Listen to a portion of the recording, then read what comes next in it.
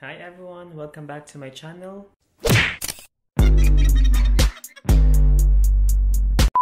I just arrived at home. Galing po ako sa work, of course. Uh, ang oras ngayon ay yeah, almost 4 p.m. na ng hapon. Ngayon ay lunes. Yeah, nag-work ako ng AM shift from 8 until uh, 3 sa hapon. So, kakarating ko lang sa bahay. Ako lang mag-isa ngayon sa bahay. Wala pang tao ngayon dito.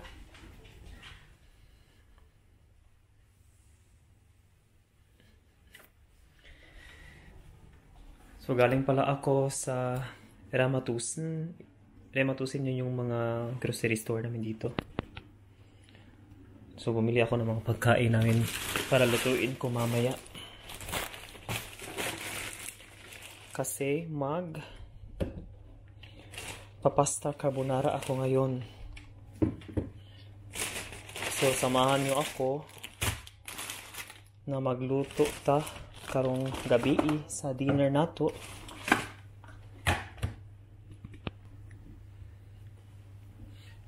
So, samahan nyo ako ngayon kasi magluluto ako mamaya pa kasi ang oras ngayon 4 pa naman.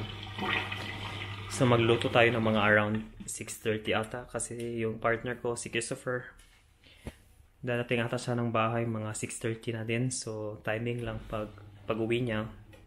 Yun, matatapos na din yung luto natin. I'll show you the recipe sa carbonara ko. Very simple yet masarap siya. Tapos mabilis lutuin. At yung ingredients napaka-konti lang. So, just keep on watching if gusto mo malaman kung paano siya lutuin.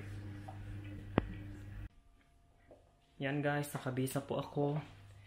So, yung gagawin ko ngayon, kakain na muna ako ng mangga. Apple mango.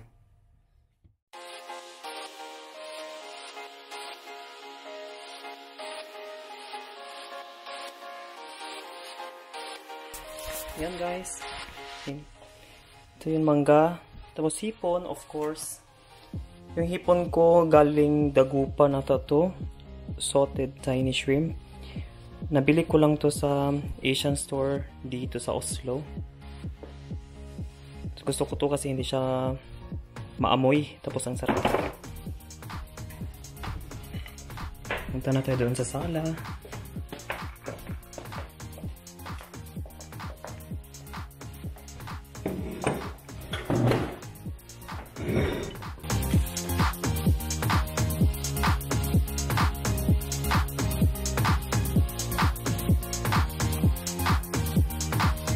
Week ng December lang ata.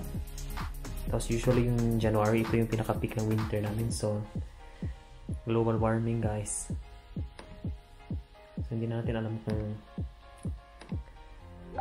kung ano nangyayari sa mundo natin. So, ito. Ito ng coffee. Pang lima na ata to ng baso ko.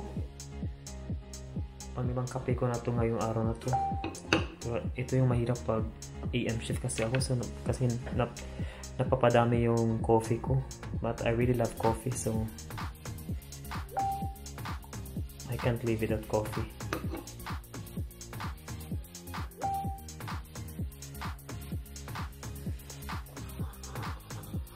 Uh, before pala I proceed sa pagluluto, may nagtatanong sa akin kung ilang years na ako dito sa Norway. Uh, I've been living here for 8 years na. Dumating ako sa Norway uh, year 2012, January. So, kaka 8 years ko lang ngayon January. Tapos, yeah, I'll mag 30, mag 30 na ako this year. So, yeah, matagal na rin ako dito. So, naka-adjust na din. So, most of my friends, andito sa Oslo. Meron ako sa outside isa, yung best friend ko na si Casey. Sa, Sun, sa Sunday siya nakatira, around one and a half hours from Oslo. Meron din siyang in, uh, YouTube channel, so ilagay ko sa baba ang YouTube channel niya para mapanood nyo din kung yung mga videos na saya dito sa YouTube. Yes guys, before na mag-start na magluto, so lagyan muna natin ng rubber yung buhok ko kasi mahaba na din. Tapos magugas tayo ng kamay.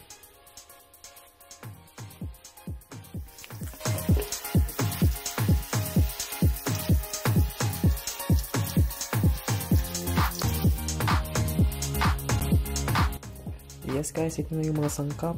Bacon, mushroom, garlic, flöte, or cream, itlog, at parmesan na cheese. Tapos, of course, ito yung spaghetti na pasta. So, mag-start na tayo.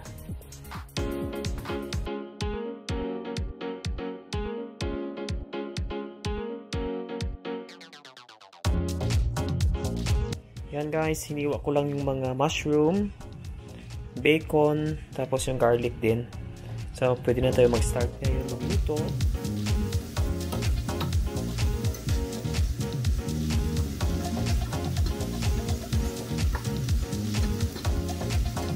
Hintayin nyo muna natin maging brown yung bacon natin. Kaya lami, mm, di ba brown brown ang bacon? Crispy crispy slide. Ang mushroom po, kaya waton pa siya na mo brown brown.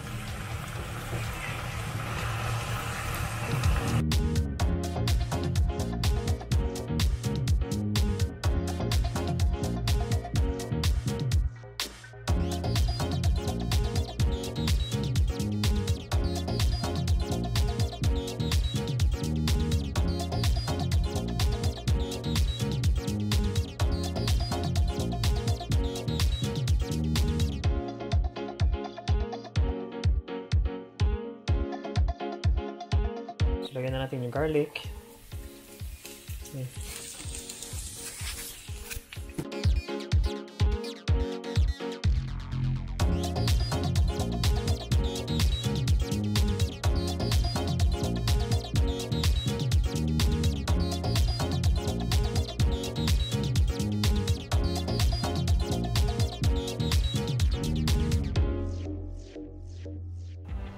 Yung ginamit ko yung tatlo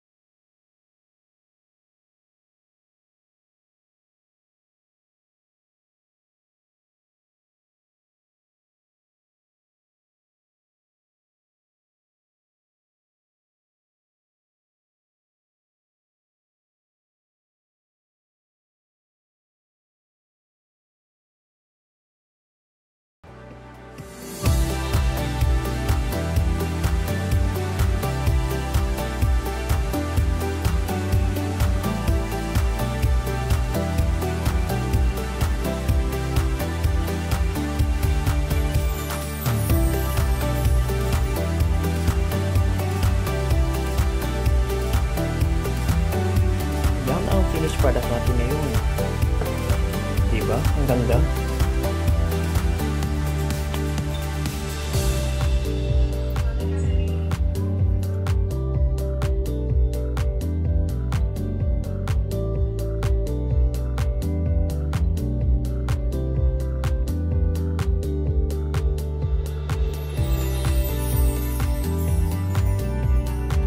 Back. Sorry, nalobat kasi yung camera ko kanina.